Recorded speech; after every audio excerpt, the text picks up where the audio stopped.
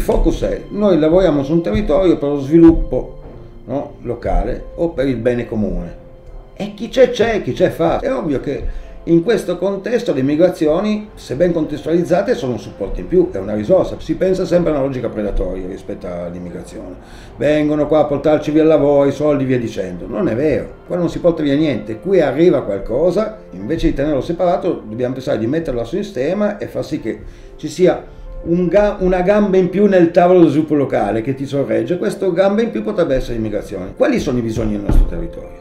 Quali sono le risposte e le risorse che ci sono? Magari non c'è niente, magari invece c'è una risposta, ma la risorsa la trovi nell'immigrazione. Se non c'hai quella non è la risposta e non contribuisci allo sviluppo del territorio e del bene comune.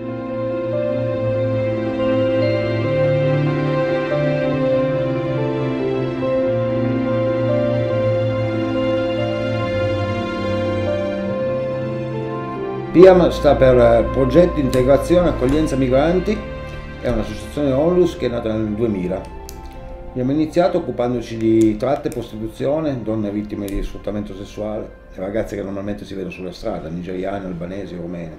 E abbiamo aperto così prime, la prima casa d'accoglienza per donne vittime di tratta. Nel tempo questa attività è cresciuta molto e da una piccola casa abbiamo strutturato dei progetti, facciamo parte della rete antitratta nazionale, facciamo unità di strada, usciamo, andiamo per strada, contattiamo le donne, diamo loro informazioni sociosanitarie, accompagniamo a fare gli screening medici e poi c'è tutta la parte di sgancio dallo sfruttamento, perciò le, case protette, le case di fuga, eh, il riconoscimento dei documenti, l'accompagnamento verso l'autonomia. Lo staff l'equipe antitratta che abbiamo è composto all'80% da ex vittime di tratta che sono diventate operatrici e lavorano nei progetti e si prendono cura di altre donne. Eh, tre di queste sono nigeriane, perciò è stato anche abbastanza facile e naturale andare poi dopo in Nigeria a riproporre questo tipo di, di, di attività che facevamo qua nei bordelli di Benin City, di Lagos e di altre cose.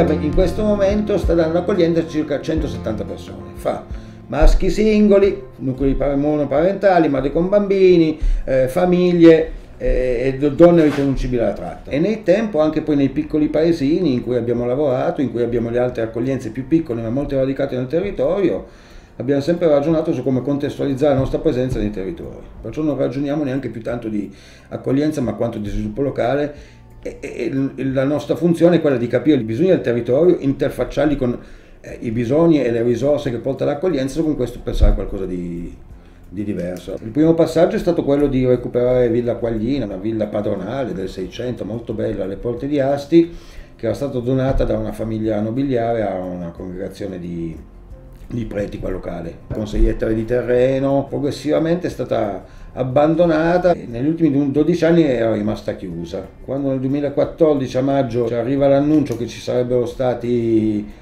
l'arrivo di ulteriori 55-60 rifugiati, in quel casale a Villa Quaglina aveva dei requisiti minimi per quella, per quella situazione. L'abbiamo pulita in fretta e furia, montato una cucina da campo veloce, è arrivato il primo pullman, erano quasi tutti siriani, qualche eritreo e da lì non siamo più andati via.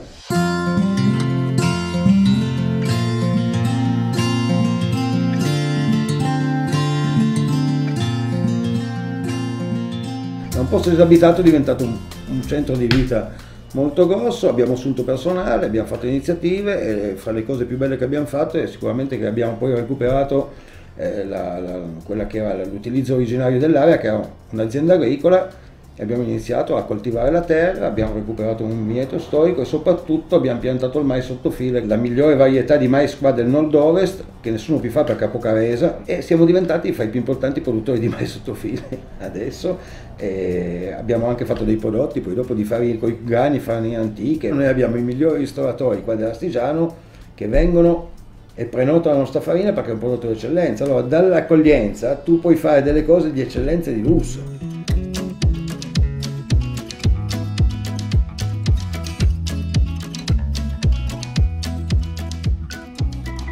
Siamo stati fra i primi in Italia sulla tratta a avere le, le case d'accoglienza per mamma bambino e poco per volta abbiamo iniziato a capire che dovevamo occuparci anche dell'educazione di questi figli e soprattutto dell'accompagnamento alla genitorialità di queste donne. Ormai sono un anno e mezzo che abbiamo acquisito questo lago a Castelleo, questo lago Stella, un bel lago con una bella area e abbiamo deciso di fare un parco per le, delle biodiversità. Ci sono gli animali, il lago, il parco, stiamo parco gioco didattico, abbiamo già anche proposto delle giornate laboratoriali per bambini che vengono con gli educatori che fanno un po' la filosofia è quella dell'outdoor education, con e insieme anche con e perché, perché no, con i bambini, con i figli delle nostre comunità.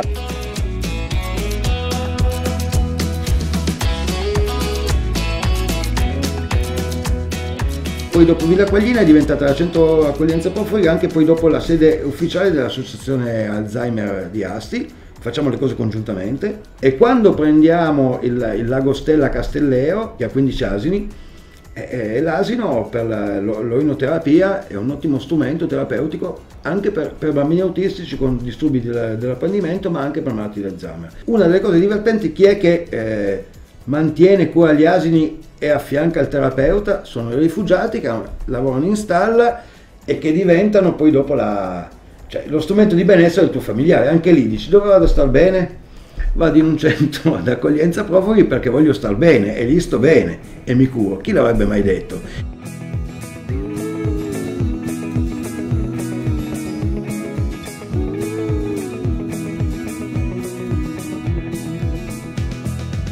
L'Italia che cambia è quella che recupera il buonsenso. L'Italia che cambia dovrebbe trovare quella, quella, quella sguaiata voglia di fare delle cose divertendosi e in maniera anche un po' buffa, ma, um, ma di pancia, vera, non calcolata.